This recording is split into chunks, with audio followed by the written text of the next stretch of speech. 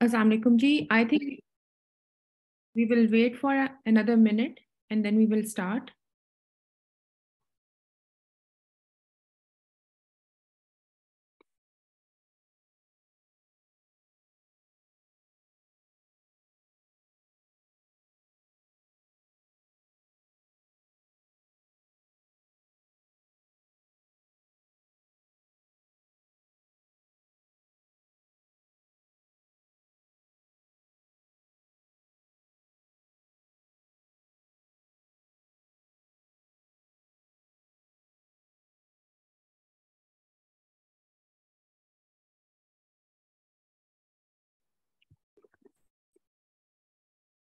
Okay, let's start.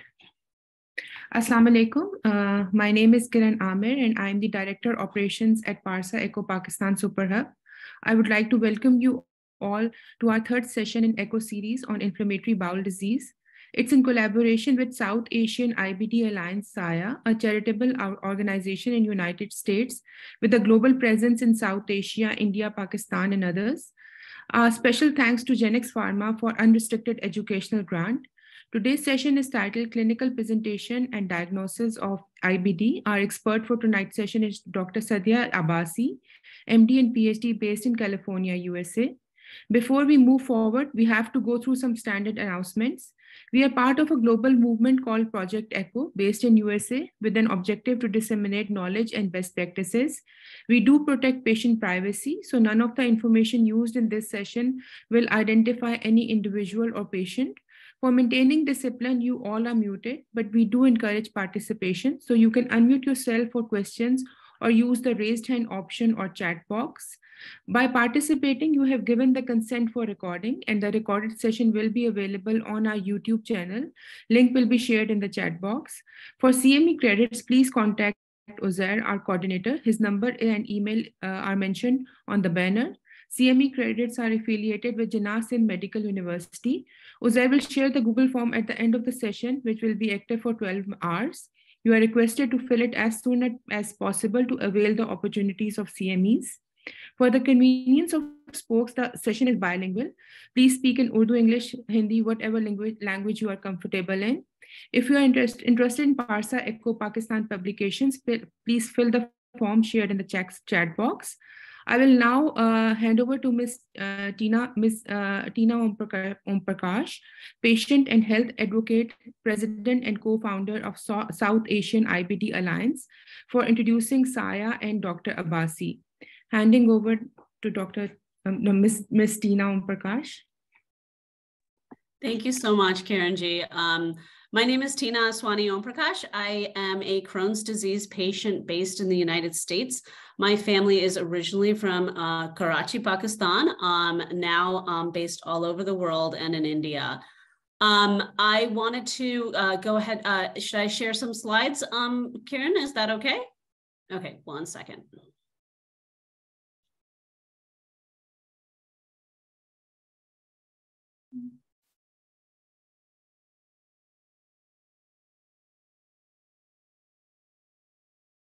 Are you able to see my screen? Yes. Okay.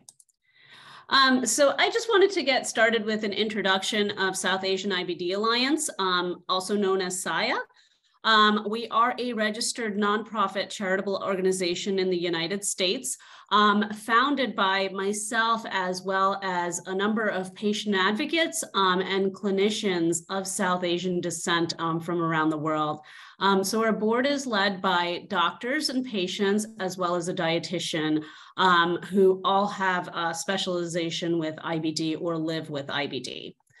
Um, a little bit more about us. Um, really with the dramatically increasing numbers of IBD um, in South Asia and also um, in the diaspora, meaning um, in the United States or in uh, the UK and Canada and Australia, we are seeing large numbers of South Asians being diagnosed with inflammatory bowel diseases. Um, so SAIA has really come together to help minimize disparities um, and dispel stigma, but also make sure um, diagnosis can happen early and that patients can receive access to treatment in a timely fashion. Um, SAIA structure and goals, a little bit about that. Um, we have three arms.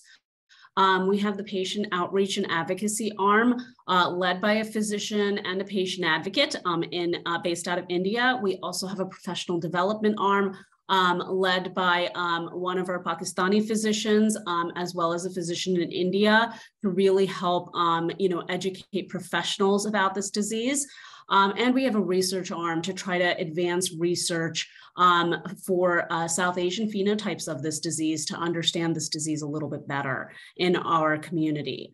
Um, we have partnered with Parsa Trust um, and Project Echo to educate um, general practitioners and gastroenterologists like yourselves about IBD, its pathogenesis, uh, epidemiology, and really how to uh, provide the best care and treatment options to patients in South Asia.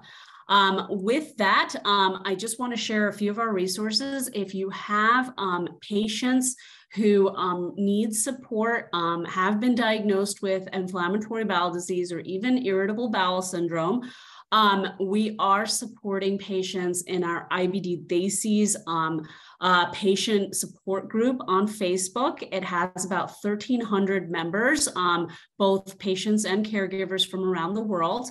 Uh, we are also on social media on Facebook, Instagram, Twitter, and LinkedIn as South Asian IBD. We also have an IBD Desis page for patients to follow. Um, and uh, you can see our website here, southasianibd.org. And if you'd like to get in touch with us, you can certainly do so via the email address provided. With that, um, I would love to introduce um, uh, Dr. Sadeea Abbasi. If you can just give me one minute, um, I uh, would love to uh, call her up if she's available um, to turn on her screen. Um, so Dr. Abbasi earned her medical degree from the University of Nevada School of Medicine in 2011 here in the United States. She completed her residency and GI fellowship at the University of Southern California in 2017 and completed her IBD fellowship at Cedars-Sinai Medical Center in 2018. She has been practicing at Cedars-Sinai Santa, Santa Monica Gastroenterology, where she continues to treat patients with inflammatory bowel disease.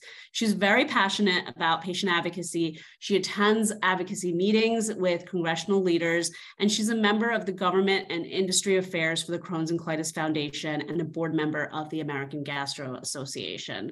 I just want to welcome Dr. Abbasi here today. Um, she's a renowned gastroenterologist. I have the pleasure of knowing her and having met her, um, and I would love to have her kick off her presentation. Thank you all for joining us today.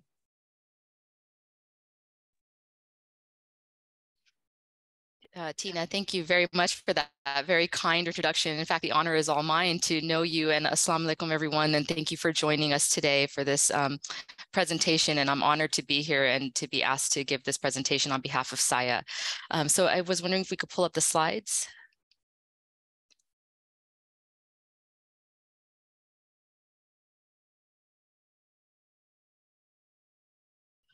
Uh, Kiran, or um, is there someone who can um, bring up the slides? Sure. Uzair, can you bring up the slides?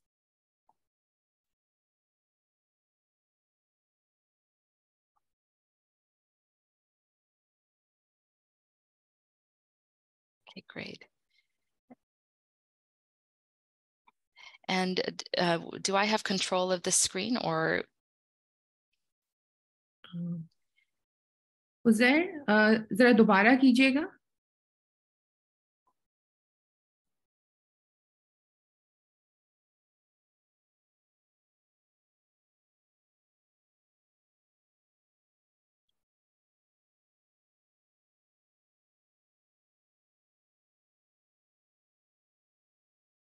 Okay.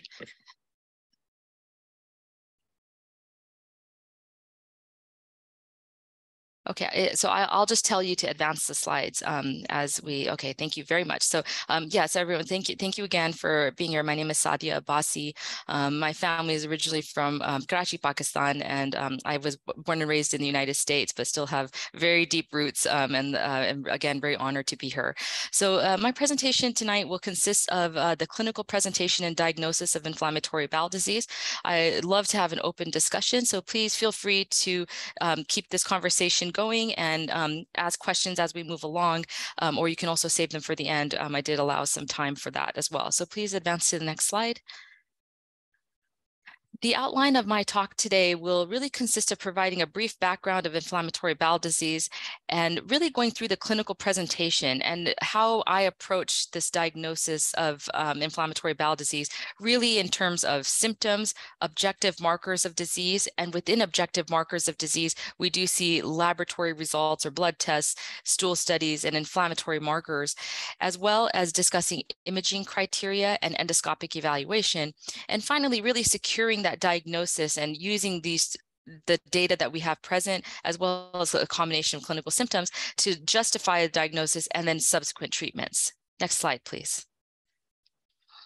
So brief background of inflammatory bowel disease. I'm, I'm talking to a group of very uh, well-educated gastroenterologists that know that this is a chronic progressive immune-mediated disease that can occur in children and adults. Not to get too caught up in the nuances, but the main diseases when we think about IBD are Crohn's disease and ulcerative colitis. And as you know, vary based on their pattern of inflammation and their location of inflammation. I really wanted to hone in on the fact that this is a shared genetic risk factor disease. So, uh, in addition to just having inflammatory bowel disease, we know that the patients share genetic risks with other disease processes such as PSC, sacroiliitis, pyoderma gangrenosum. So not only are these extraintestinal manifestations of disease, but they can occur simultaneous to the disease and actually be the presenting process before someone gets diagnosed with IBD. I think we tend to see that in, in diseases such as ankylosing spondylitis and uveitis, where someone's initial presentation is actually not their gut symptoms. And that's because there is a shared genetic risk factor that can then present um, in multiple ways. Because of this shared genetic risk factor, we know that there's a variable clinical course in inflammatory bowel disease. So any individual patient needs to be evaluated as an individual, although they may share some of the similar um, presentations as a different patient we really regard inflammatory bowel disease as a patient-specific, um, you know, centered centered on the patient, just to make sure that we are individualizing their care. So the variable clinical course is not only with their typical presentation of inflammatory bowel disease, but also when it comes uh, down to extraintestinal manifestations, there, that could be so different between each individual patient. Next slide, please.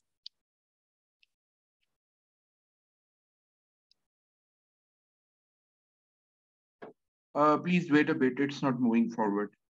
Okay, no problem.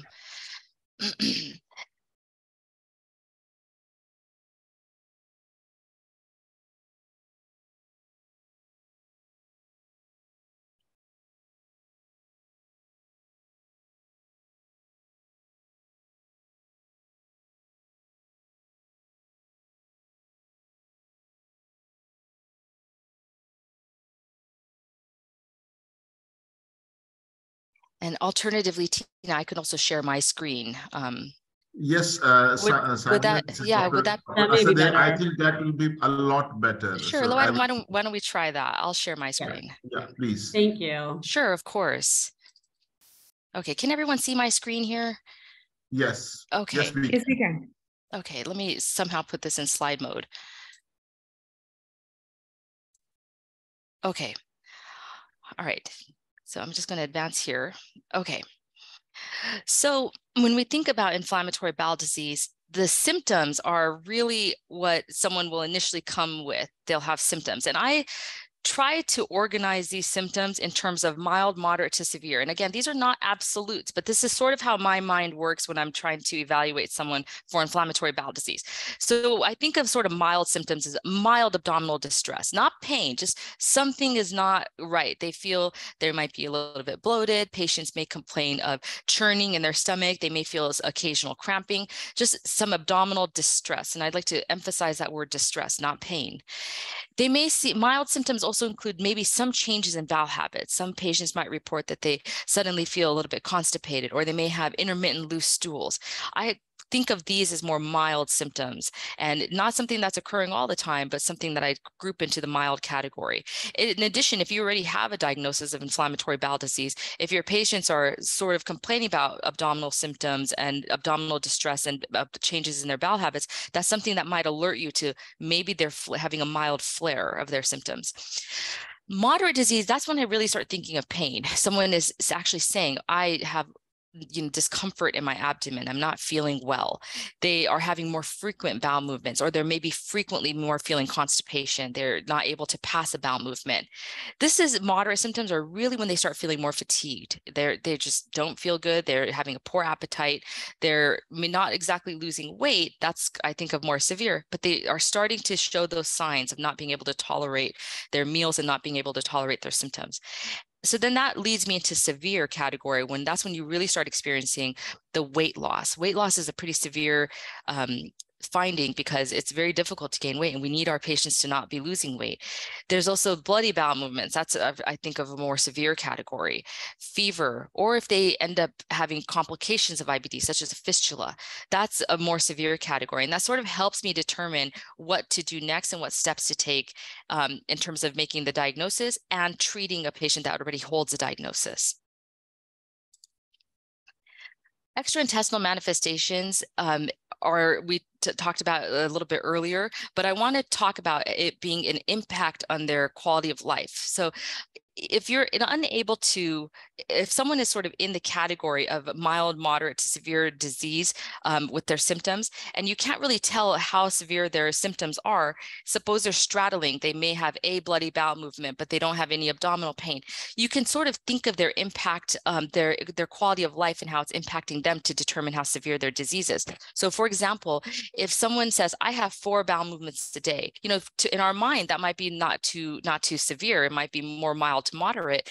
But if it's impacting their education or their work, they're unable to go to work because of their symptoms, or it's impacting their energy level, that's a more severe issue that they're dealing with. So I use the imp the impact on their quality of life to help again guide what I do next. So the way that I look at these um, quality of life factors are their education and work, especially when you're dealing with adolescents. If they're all of a sudden that you know kids don't necessarily tell you how they feel, or they may not know that they're having severe symptoms, but all of a sudden their schoolwork starts to decrease, or they start getting you know not their typical um, scores in school, then you could think something is really wrong here um, if their interpersonal interactions are really impacted, you know, suddenly an adolescent child is not talking to their parents or a, a husband and wife, you know, notice that there uh, there's some distress between them in their relationships, that can tell you maybe there's something wrong because someone's not feeling well fatigue and energy we sort of talked about fatigue is a difficult one because i think a lot of people feel fatigue regardless of their disease process but it's something to always keep in the back of your mind that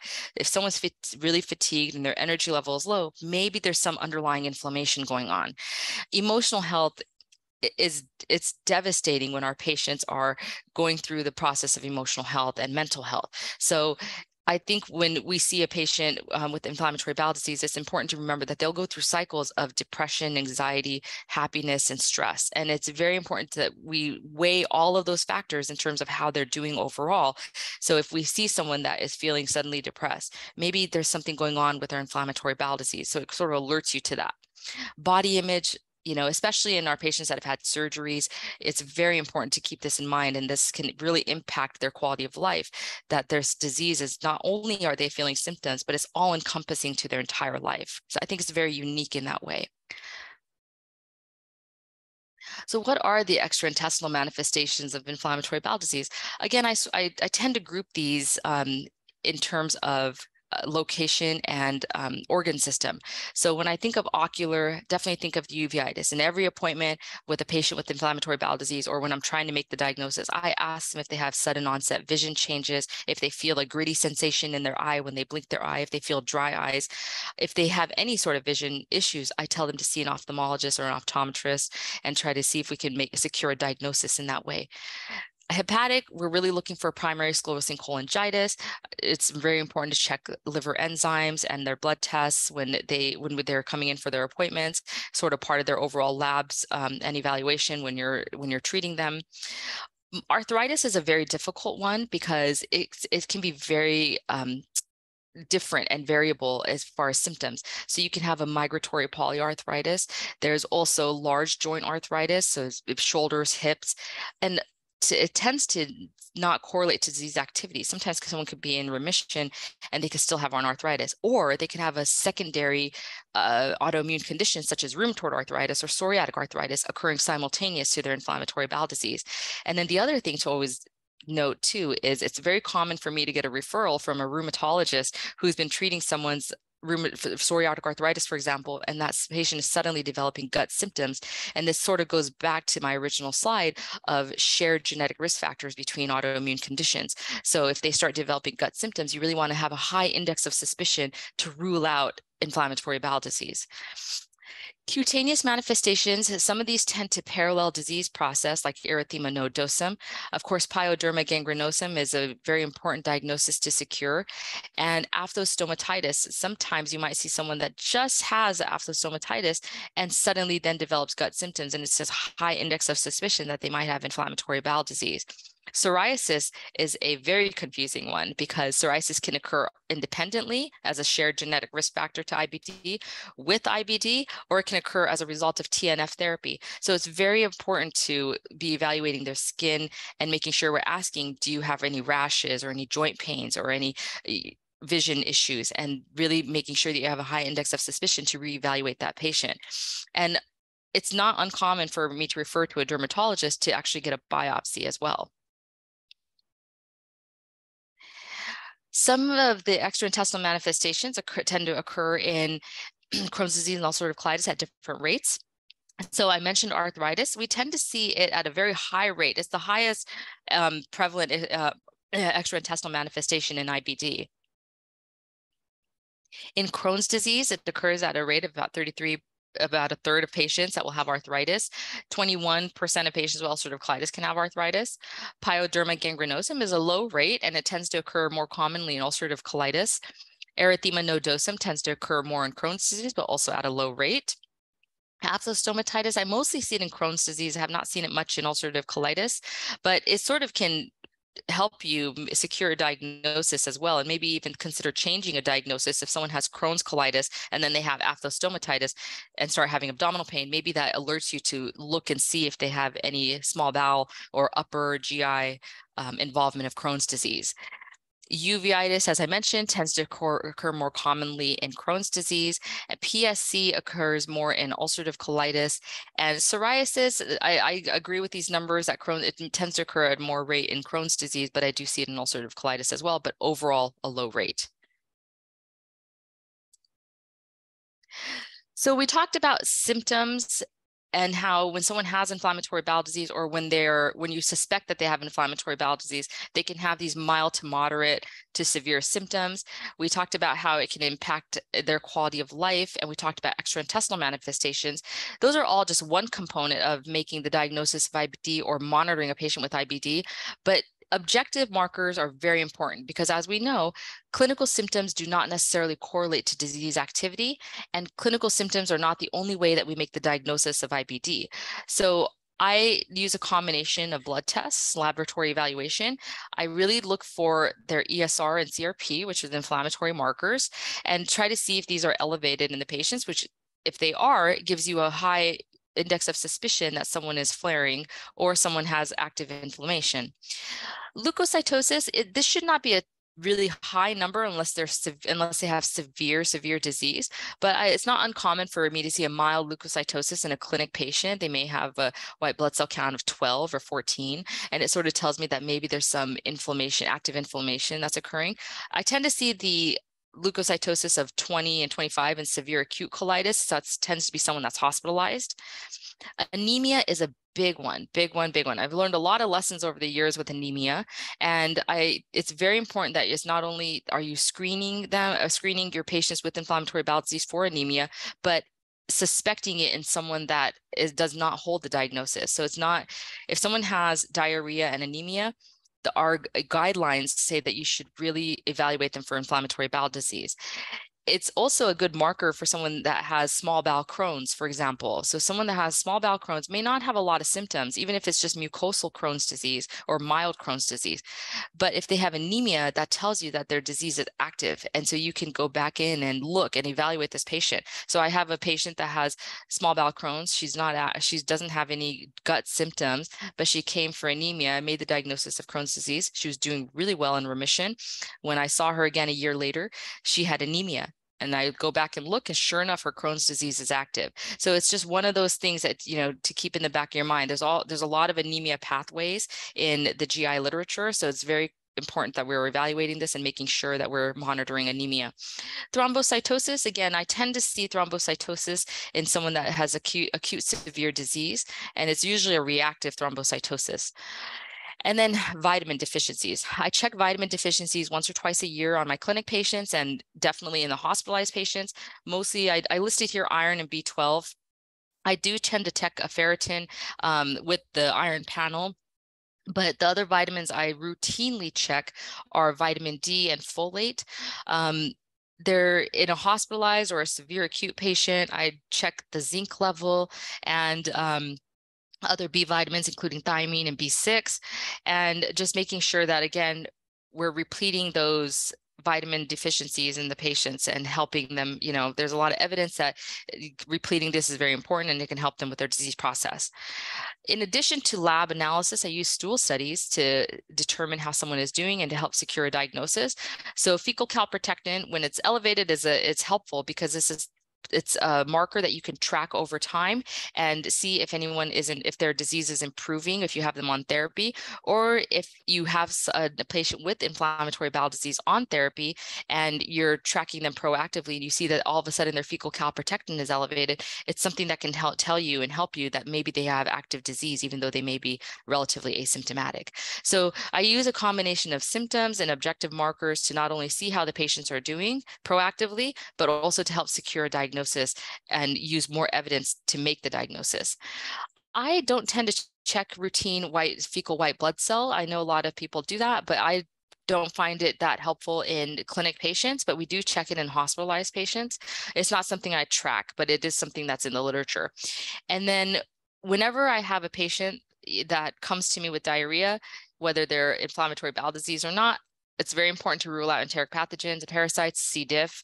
So one of the uh, first things I tell people that have a diagnosis of ulcerative colitis or Crohn's disease is be, be prepared to drop off a lot of stool tests because we do look at them pretty often. And if there's any consideration of them flaring, it's always important to make sure that they're they're not subsequently infected or super infected and not actually having a flare of their disease. So very common to do that.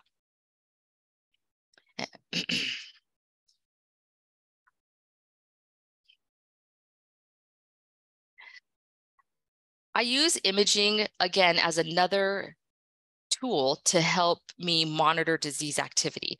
So when we see someone who has severe disease, we or they're coming in with 20 bowel movements, they have severe acute colitis, we definitely get an x-ray. We rule out megacolon. Some of my patients that had just a lot of pain and they're in the clinic, not necessarily in the hospital, I obtain abdominal x-ray, may see some focal, may see some fecal loading. Um, sometimes we see intestinal wall thickening. Some of the very common findings of in an x-ray are thumb printing and a pipe appearance. You can see in this picture here, it just looks like a, the, um, the distal colon here just looks like a pipe. So not an uncommon feature to see on an x-ray and a plain film is pretty easy to obtain so i use it as a tool to help me especially when i'm not able to get a more advanced imaging study um, in a timely fashion. The other CT abdomen pelvis, I think anyone that goes to the hospital automatically gets a CT abdomen pelvis. But again, it's something that I do order, especially if I don't have a secure diagnosis and someone's complaining of a lot of pain. So I do use a CT scan. And if I see these findings of intestinal wall thickening, some unfortunately, sometimes you see an intra-abdominal abscess. Again, that alerts you that someone might have inflammatory bowel disease and that they need more, they may need a larger workup. Enterography is a very common thing that we order in the United States, a very common, common imaging modality. So when we do enterography, whether it's CT or MRI, we are looking for bowel wall hyperemia. And the good thing about an MRI is that it can also really well detect uh, perianal disease and soft tissue, anything in soft tissue that you may see. So we do use MRI quite a bit um, for our patients with Crohn's disease. I did not list it here, um, but it's something to also consider in your patients with inflammatory bowel disease is intestinal ultrasound. And I think that we're going to see this major, major um, role for intestinal ultrasound because it's less invasive, less cumbersome, more easy to do. And it, again, what you're looking for with intestinal ultrasound is bowel wall thickening, mostly in the terminal ileal area. So again, an emerging role for intestinal ultrasound. When making the diagnosis of inflammatory bowel disease, we gold standard is colonoscopy and endoscopy. And um, the, the way that we use these tools is not only to see endoscopic appearance of the intestines and the, mostly the colon and probably the small bowel, but also to stage the disease. So I put the scoring stage here for the Mayo criteria for ulcerative colitis. And what we see is a score of zero is normal mucosa a slight amount of erythema, uh, decreased vascular pattern, and mild friability is it really a score of one in ulcerative colitis. A score of two is when you start seeing marked erythema, really absent vascular pattern, friability, and there's slight erosions here. But once you start seeing significant ulcerations and spontaneous bleeding, that's when you really want to think of stage score of three of the Mayo score of ulcerative colitis. Our goal when we do this is not only look at the appearance of the colon, but also to take a biopsy. And typical biopsy features that you'll see in inflammatory bowel disease consists of crypt abscess formation. We can see this here. You'll also see the pyloric gland metaplasia, and really you're working very well with the pathologist to read these slides and making sure that we're identifying all of them transmural inflammation. So you'll really start to see the submucosal involved in the muscularis mucosae. And granuloma is pathognomonic for Crohn's disease. So, you know, you might see the granuloma um, in a biopsy, and that really helps secure the diagnosis. So in addition to clinical symptoms, laboratory evidence, stool tests, and imaging studies, you then use the appearance and endoscopic evaluation to secure your diagnosis. And a lot of times people say, well, why do you need all the other four things when you when you could just go in and scope? Well, you're not going to always scope your patients every two weeks. You know, you want to be able to follow their other markers as you're making the diagnosis and seeing how they're doing when you initiate therapy. I use a lot of wireless capsule in my practice um, because you always want to make sure you're evaluating the small bowel. So again, I, there is this phenomenon of patients not having a lot of symptoms, but maybe they just have anemia or maybe they just have a slight diarrhea and their endoscopy is normal and their colonoscopy is normal, but your index of suspicion for inflammatory bowel disease is high. And those are the patients that I use wireless capsule in.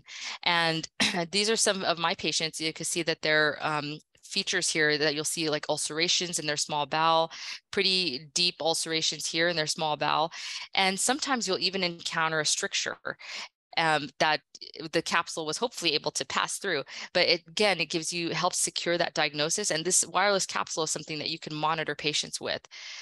Enteroscopy is very sometimes you know, even here in Los Angeles with an abundance of um, of um, institutions that do um, enteroscopy, it's sometimes still difficult to get patients in on time. So push enteroscopy and balloon enteroscopy to help, again, secure the diagnosis. And sometimes I use this if a lot of the data that I've since collected on the patients is not clear. So if, for example, if you're wondering if someone has NSAID-induced enteropathy or if they have Crohn's disease, sometimes I then use uh, use a push or a double balloon to get the biopsies. So, you know, you'll see those typical features on biopsies that you may not see in someone that has been using NSAIDs, for example. So that's when I start to use this. I, you can also use enteroscopy, especially double balloon, in someone that has a stricture to dilate the stricture um, if you're not considering surgery for them. So again, another not only tool to help you manage your patients with inflammatory bowel disease, but to make the diagnosis as well surgical specimens, we hope to never have our patients go to surgery. Unfortunately, it happens um, not uncommonly. And the classic features that you'll see, this is a colon, um, are this just really raw sort of tissue, really erythematous, granular, friable. And this is a specimen that this person, you know, was not responding to therapies and, you know, had to unfortunately get their colon removed um, in ulcerative colitis.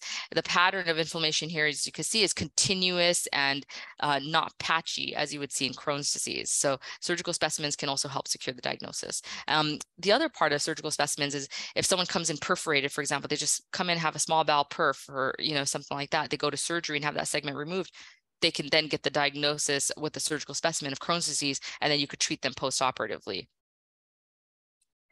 I, I, wanted to talk briefly about the scoring criteria. So um, the I sort of discussed how I use symptoms in my mind, how I classify them as mild, moderate to severe. There are actual scoring criteria for that so that you can determine how you will start therapy in patients and when you need to initiate and if someone is super sick that you need to send them to the hospital. So the Truelove and Witts Severity Index for ulcerative colitis is very commonly used to score the disease process. And this is just based on a combination of clinical symptoms and um, objective markers of disease. So mild disease, we sort of think of someone someone that has less than four bowel movements a day, their vital signs are pretty stable. They're not febrile. They're not too anemic, um, and their inflammatory markers are normal. So this is just someone that has more frequent bowel movements, maybe a little hint of anemia, but not too severe. In moderate disease, that's when you really start thinking of someone that has this a little bit more frequent bowel movements. Their vital signs are still stable, but they're a little bit more anemic and their inflammatory markers are normal. So again, anemia, big, big marker of not only how someone is doing with the diagnosis, but maybe indicates to you and tips you off that someone has inflammatory bowel disease. Severe symptoms are really when we start thinking of someone with more than six bowel movements per day this is when their vital signs start to uh, creep up where they become tachycardic with a um, pulse rate more than 90 beats per minute. Their temperature they develop a fever and um, or, or, at least a higher temperature. Their hemoglobin is much lower so they are pretty anemic and your objective markers of um, inflammation are present and you'll start to see these on the rise. I use the um, the simple uh, clinical colitis activity index for my patients in the clinic. So this is for uh, for, for colitis. So if I have someone in clinic, I try to always have an objective marker of how they're doing. So, you know, when we see patients, we just say, how, how many bowel movements are you having? How are you feeling? They're like, I'm feeling fine. I'm having this, but I try to get an objective marker so I could track this over time. And I put it in my note every single time. So this really consists of how many bowel movements are they having. And the intervals are a little bit shorter. So you can actually track them a little bit more clearly. So someone that has four bowel movements gets a score of one, for example, but if they have three, they get a score of zero. The frequency, nocturnal frequency of bowel movements, again, important to measure. I asked them about their urgency, if they have any urgency. And blood in the stool, always important to note. And they're just their their overall impression of their well-being. If someone tells me, you know, I'm okay, I don't feel that great, I can I can document that they had a score of one here. But if the, in the following appointment they tell me, I, you know, I, I, I feel terrible, I could document that they have a score of three here, and that might increase their their score. And that's again just another, uh, you know, indication to me that maybe they're not doing so well. Maybe they are having active inflammation, and maybe their disease is active. So these are all just markers to very be be very proactive in diagnosing and monitoring your patients, and may secure a diagnosis for you. Harvey Bradshaw index, what we use for Crohn's disease. So I use this uh, simple index in my clinical patients. And again, very much getting an objective number when I see them. So um, I use their general well-being. I ask them how they're doing, making sure that they're that score, if it's changing, that I'm being very proactive and monitoring them. Abdominal pain is relative, but I try to ask them, what, how severe is it? Compared to last time, is it more severe or less severe? I really try to get a sense of what they are feeling. And the number of liquid stools per day, this abdominal mass. So when you feel them, do you feel a mass? And then their complications, and they get a score for every one of their complications. Do they have arthritis this time? Do they have you know a fistula and so this the objective number allows me to track my patients with inflammatory bowel disease very proactively, if their number is on the rise in the clinic, I could say, you know what, there's something going on. We need to restage and find out if they're having active inflammation. The goal, eh, the goal, of course, is to catch disease early and intervene early.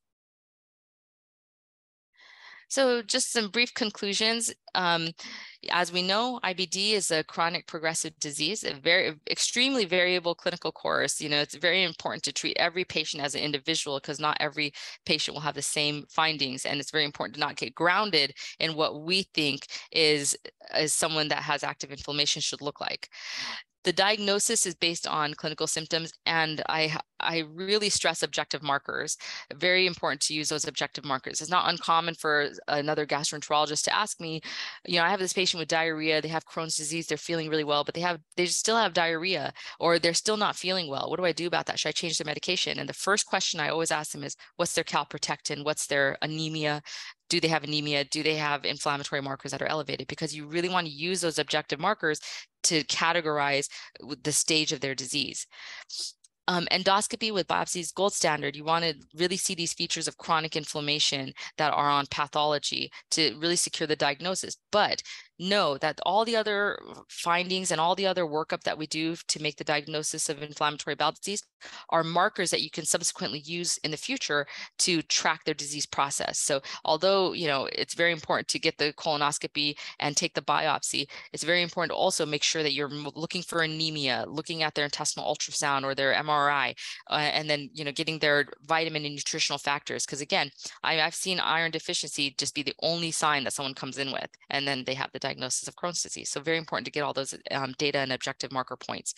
And then finally, using the scoring systems to determine severity, which can drive therapeutics. So as we know, the FDA guide, well, at least in the United States, the FDA guidelines for a lot of these medications are for either mild disease, moderate disease, or severe disease. So we don't want to be putting people in on the wrong therapeutics if they um, if their disease process is rated at a, at a, different severity. I also use these scoring systems again to track patients subsequently and see how they're doing and being very proactive to tell me if someone is undergoing if someone's experiencing a flare or not. So just very important to sort of you know use these uh, tools at your disposal just to care for your individual patient. Thank you very much. I'll take any questions at this time. Thank you so much. Thank you. Uh, uh, thank you very much, Sadeea, uh, Dr. Asad here, and uh, for a wonderful presentation. Um, uh, before uh, we take some questions, one thing that I would like to know is what advice, because in the audience in front of you, we have a lot of general practitioners uh, and they're all across Pakistan. So uh, it, it was it was a wonderful talk, and we do have some markers which are available, like uh, uh, calprotectin levels. Of course, we, we we you know anemia and some other inflammatory markers. So, what advice would you give them? Obviously, we are looking at patients uh, from far-flung areas uh, who come for follow-up. They have documented uh, ulcerative colitis.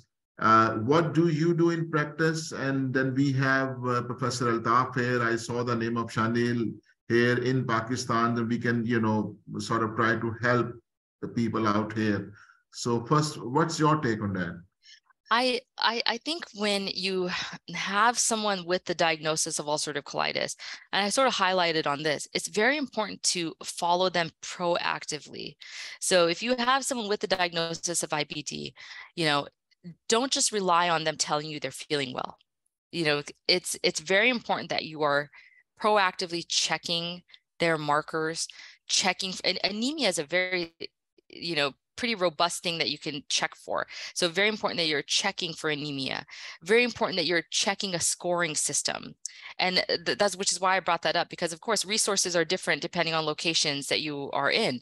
So but the, the scoring systems, um, especially the ones that we use in clinic, you don't require any sort of blood test they're just some you know your your monitoring of um, how someone is doing. So if someone says you know i'm feeling fine I, I, think a lot of patients if they're feeling fine they don't want to give a lot of information. They don't want to be in your office. They want they're feeling fine. They, don't, they just want to live their life. But it's very important to prod them a little bit. Well what does fine mean? How many bowel movements are you having in a day? You know and uh, do you have any abdominal pain? You know I, I really i really try to fill out the scoring system so that i can have an objective objective number that I can then follow. So that's sort of how I, I you know, approach this disease. Um, and a generalist can do this. You know, it's not something that you necessarily need to always scope, you know, do a colonoscopy in um, a patient for, but you can just say, you know, how are you doing and getting objective evidence of how they're really doing. So then you could track those numbers. That's that's how I approach it you know? So you're, you're not necessarily using a lot of resources in that way. If you have the resources available then yes i check the vitamins you know their vitamin profile once or twice a year or i'm you know er, er, my patients that are on biologic therapy you know it's really seeing them every one to two months when they're initially getting started but when they're on therapy and you know stable maybe you know quarterly i see them or twice a year i see them just depending on what process they're on. And then again proactively monitoring them.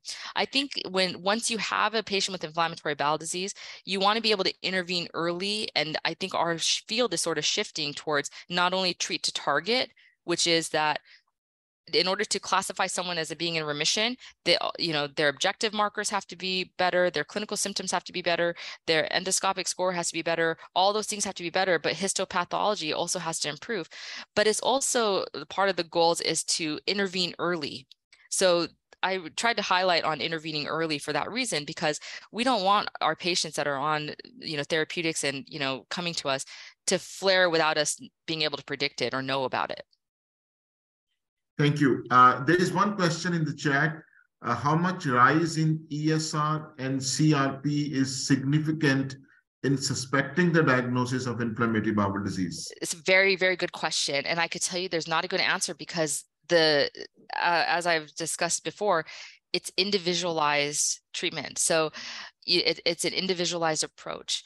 So you can have someone that definitely has, you know, if, if this in, in our lab, a, a normal CRP is less than one. I've seen patients with a CRP of three that have severe disease. And I've seen patients with a CRP of 150 that have severe disease. So it's individualized. So you don't use any indiv- you don't use any one test to tell you how someone's doing.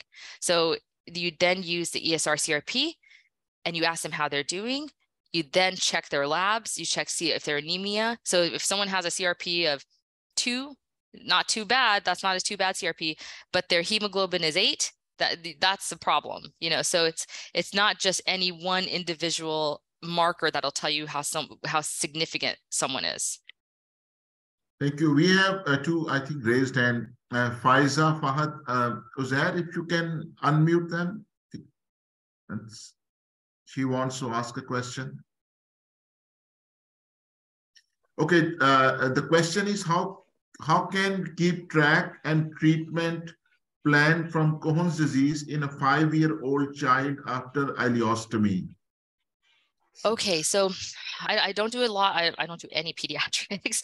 Um, tend to be an adult gastroenterologist, but I, I could tell you the approach post-operatively that we do in adults with ulcerative uh, with Crohn's disease that have undergone surgery. We tend to start them on medications to prevent a further um, to prevent further activation of disease. As you as you know, the most common site of recurrence of IBD is at the anastomosis or near the anastomosis.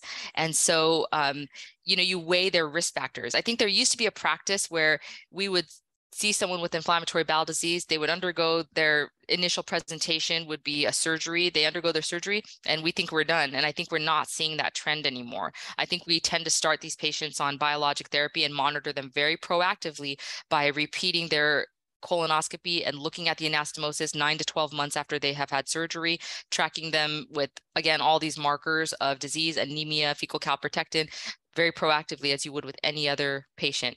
Five-year-old is devastating, and it's probably one of the reasons I don't do a lot of pediatrics. Um, but you know, it's again, I, am sure it's probably the same approach of just being very proactive in the monitoring and starting them on therapy. Thank you, uh, thank you. Uh, uh, there's another question about how to differentiate uh, tuberculous intestinal ulcerations and ulcerations due to inflammatory bowel disease? So I, I can answer this question because I trained at at um, the University of Southern California in Los Angeles, where we actually saw a lot of tuberculosis, and um, I actually had a patient with um, terminal ileitis that was due to tuberculosis. The, the way that we suspected the diagnosis of tuberculosis was not only on biopsy, but we also had a um, elevated um, uh, you know, when we were going to start therapy, the quantiferon gold was elevated and their PP, their uh, tuberculosis um, PPD test was also positive.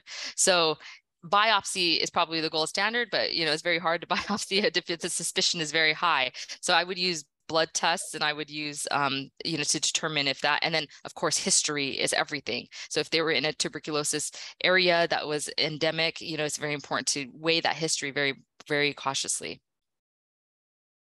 Thank you. Uh, uh, before I go to Professor Altaf Alam, there is uh, one raised hand, uh, Ghulam Rahmani. Do you want to ask a question?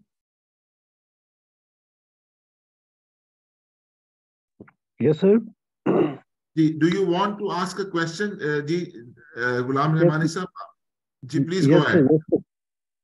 Sir, my question is, as we use the serum uh, fecal calprotectin level as a screening test to differentiate between IBS and IBD, we see raised fecal uh, uh, calprotectin level even in the setting with the celiac disease as well. Yes. So how much higher uh, how much higher levels of fecal calprotectin level should be to make sure that this patient may having a IBD? So I will answer the same way I answered the CRP and ESR question. Not one individual test will tell you if someone has inflammatory bowel disease. So I use fecal calprotectin as a marker to tell me someone has, someone could have inflammatory bowel disease.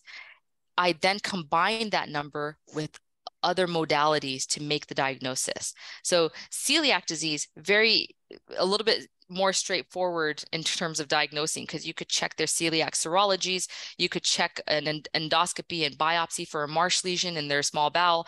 So it's it's a little bit more straightforward of a diagnosis on occasion, but definitely you could see an elevated fecal calprotectin in someone and not have a source for it. We see that all the time. You know, we actually discourage people from checking it unless there's suspicion of IBD is very high.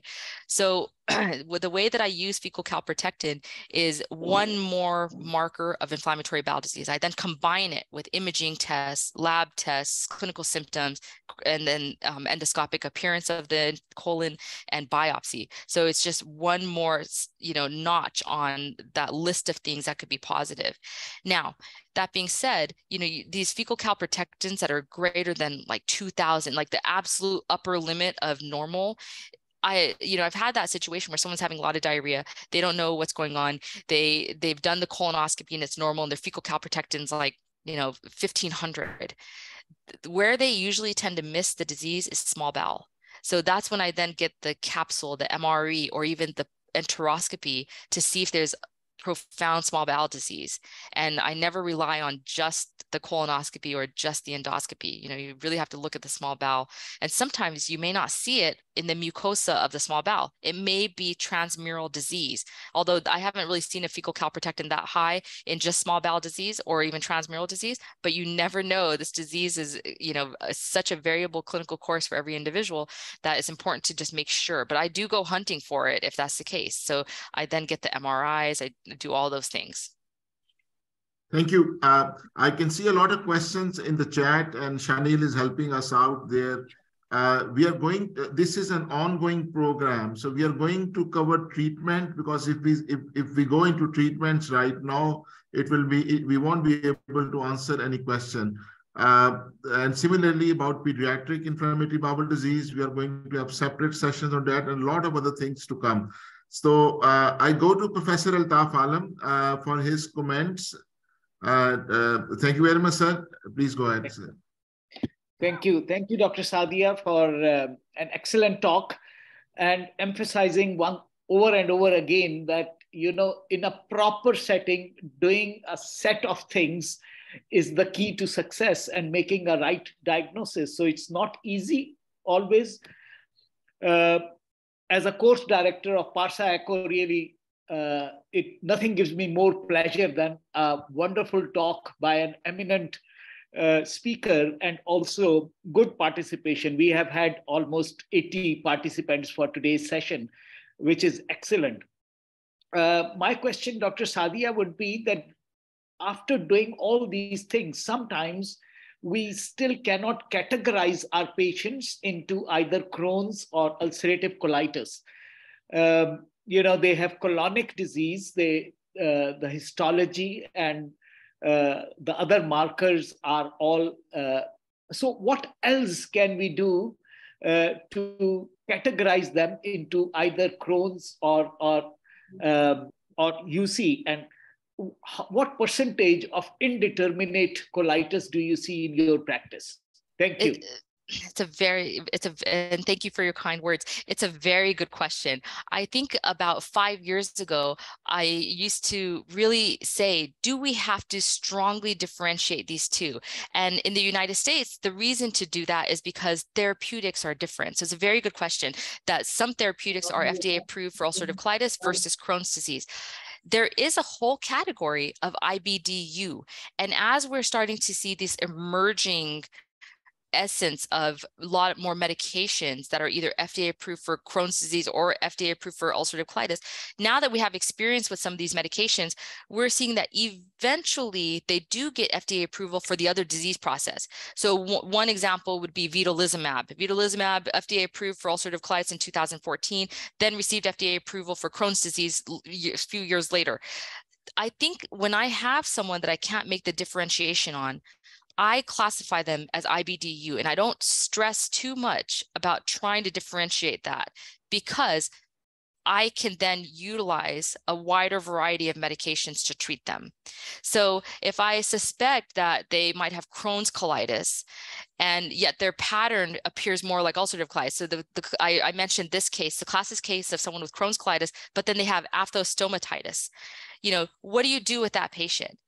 I say treat what's in front of you. So treat treat the disease that's in front of you. If you suspect that this is Crohn's disease, or if you, if you suspect that this is ulcerative colitis, but they have aphthostomatitis, you know, you may err on the side of saying maybe this is more Crohn's colitis, but I'm going to go ahead and treat the colonic disease and see if this improves. And if it doesn't, or if they have symptoms, then you could say, you know what, then I could reach for one of the categories that may be one of the medications that may be approved for Crohn's disease with the diagnosis of IBDU. I could say favors Crohn's colitis. So that's sort of how I try to, you know, make that differentiation. But I don't now the, with the practice, I don't try to necessarily, you know, if I if I don't know, I don't try to strictly, di- you know, differentiate it. I will say, you know, also I will say this is um, IBDU favors Crohn's colitis or IBDU favors ulcerative colitis, and then I can use the different, you know, tools at my disposal to treat them.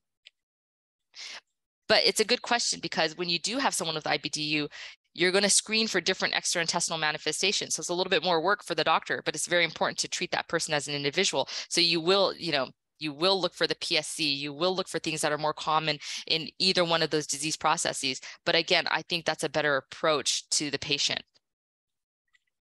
Uh, G, uh, Sadeea, last question in the chat. I uh, just uh, I'm utilizing the last minutes uh, rectal involvement in Crohn disease and perianal involvement in ulcerative colitis.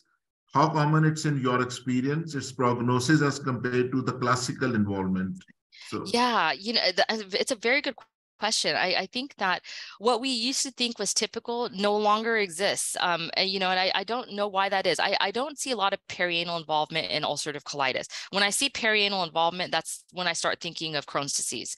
Um, but I see rectal involvement in Crohn's disease. That's not uncommon. It's similar to, you know, seeing PSC in Crohn's disease. I don't think that the what we used to think were firm gu guidelines and firm classifications. I, you know, I personally don't think that they exist anymore because I've been you know, commonly and more routinely and daily surprised by what this disease process can do and the presentation that we're seeing in patients. So again, if if it, if you have someone who you're convinced has ulcerative colitis, but then they have perianal disease and you don't want to necessarily call them Crohn's, you can then put them in that category as um, uh, of IBDU favors Crohn's disease or favors ulcerative colitis, and then make your decisions on therapeutics based on that criteria.